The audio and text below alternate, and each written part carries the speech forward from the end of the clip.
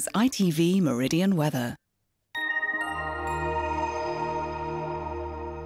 Thanks, Simon. We're back with Good Morning Britain tomorrow from 6am. Join us if you can. But from the weekend team, have a very good evening. Bye bye.